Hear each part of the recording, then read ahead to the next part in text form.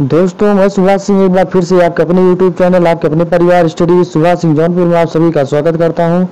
जैसा कि आप थंबनेल में देख चुके हैं करंट अफेयर की क्लास हम लेके आए हैं, जिसमें से पहला क्वेश्चन है, कह रहा कि हाल ही में अंतर्राष्ट्रीय वृद्ध जन्म दिवस कब मनाया गया?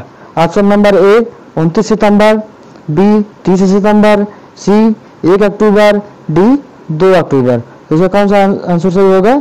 ऑप्शन नंबर फ़र्स्ट एक अक्टूबर। आगे चलते हैं।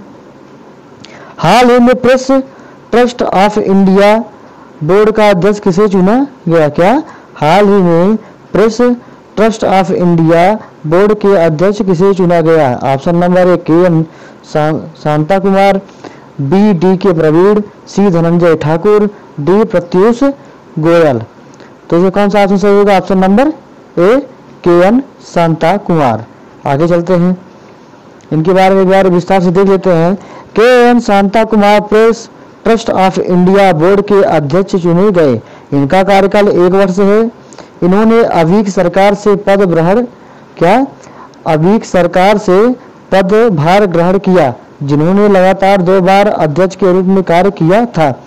हिंदुस्तान टाइम्स के सीईओ कौन है? प्रवीण सोमेश्वर। कौन है प्रवीण? सोमेश्वर। हिंदुस्तान टाइम्स के सीईओ प्रवीण सोमेश्वर को पीटीआई के निदेशक मंडल के उपाध्यक्ष के रूप में चुना गया है। प्रेस ट्रस्ट ऑफ़ इंडिया की स्थापना कब हुई? उन्नीस में हुई। इनका मुख्यालय कहाँ है? नई दिल्ली में। ठीक? आगे चलते हैं। हाल ही में किसको गणित में 2023 का शास्त्र रामानुजन पुरस्कार दिया गया? Option number A Ruixiang Zhang, B Yunqing Tang C, Meena Gupta, D Bhamuka Shrestha. तो कौन सा ऑप्शन सही है? Option number A Ruixiang Zhang. ठीक? आगे चलते हैं। रुक्सियांग झांग को गणित में शास्त्र रामानुजन पुरस्कार 2023 में मिला। गणितक रुक्सियांग झांग अमेरिका के वर्कले स्थित कैलिफ़ोर्निया विश्वविद्यालय में सहायक प्रोफेसर हैं। पुरस्कार राशि कितना मिलता है? दस हज़ार यूएस डॉलर दिया जाता है, ठीक? शास्त्र रामानुजन पुरस्कार 32 वर्ष से कम उम्र के गणितक को दिया जाता है। कितना? 32 वर्ष के कम उम्र को जो गणितक होते हैं, उनको दिया जाता है, ठीक? यह श्रीनिवास रामानुजन जी के सम्मान में शुरू किया गया था, ठीक? आगे चलते हैं। एशियन गेम्स 2023 में रोहन बोपन्ना, कौन? रोहन बोपन्ना और ऋतुजा भोसले ने टेनिस में कौन सा पदक जीता है? A, gold A gold B silver C bronze D कोई नहीं। कौन सा है? ऑप्शन नंबर ए गोल्ड आगे चलते हैं। हाल ही में किस केंद्रीय मंत्री ने सभी आठ पूर्वोत्तर राज्यों में 5G ट्रेनिंग लैब लॉन्च किया है? Option number A Ashwini, Vaishnaw B Anurag Thakur C Narendra Modi D G Kishan Reddy. कौन सा ऑप्शन सही है? Option number D G Kishan Reddy. आगे चलते हैं।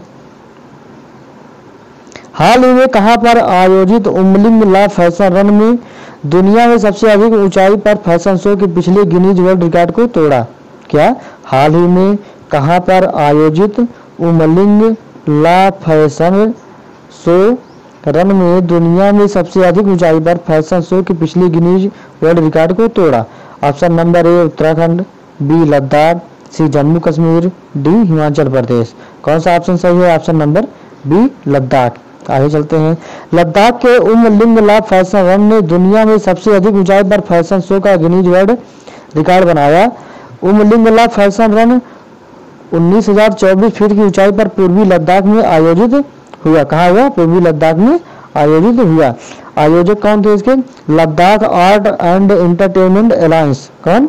Ladakh art and entertainment alliance. इसमें कितने इसमें 16 देश के आयोजक शामिल हुए थे। कितने देश के? 16 देश के आयोजक शामिल हुए थे, ठीक? आगे चलते हैं। राष्ट्रपति द्रौपदी मुर्मू ने इकतालीस विजेताओं को राष्ट्रीय सेवा योजना, क्या? राष्ट्रीय सेवा योजना पुरस्कार प्रदान की। वर्ष 2021-22 के लिए पुरस्कार कितना? 29 सितंबर 2023 को राष्ट्रपति भवन में दिए गए।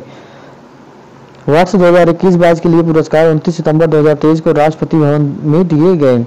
राष्ट्रीय सेवा योजना एनएसएस की स्थापना उन्नीस में महात्मा गांधी की जन्म शताब्दी पर की गई थी। कब? महात्मा गांधी जी की जन्म शताब्दी पर की गई थी, ठीक? इसका उद्देश्य स्वैच्छिक सामुदायिक सेवा के माध्यम से छात्र छात्राओं के छात्र युवाओं के व्यक्तित्व और चरित्र का विकास करना है। का आदर्श वाक्य क्या है? स्वयं से पहले आप। क्या? स्वयं से पहले आप। इसका आदर्श वाक्य है, ठीक? आगे चलते हैं। हाल ही में किस अंतरिक्ष एजेंसी के परसिवरेंस मार्स रोवर ने मंगल ग्रह पर सुपरफास्ट नेविगेशन का रिकॉर्ड बनाया option number A NASA B ISRO C JAXA D SpaceX तो कौन सा ऑप्शन सही है? ऑप्शन नंबर ए नासा कौन? नासा आगे चलते हैं। हाल ही में किस देश ने वर्ष 2024 में अपने रक्षा खर्च को 70 परसेंट तक बढ़ाने की घोषणा की? ए अमेरिका बी चीन सी भारत डी रूस। कौन सा ऑप्शन सही है? ऑप्शन नंबर डी रूस। ठीक? तो इस वीडियो में बस इतना ही। कल फिर मिलते हैं। आज के लिए धन्यवाद।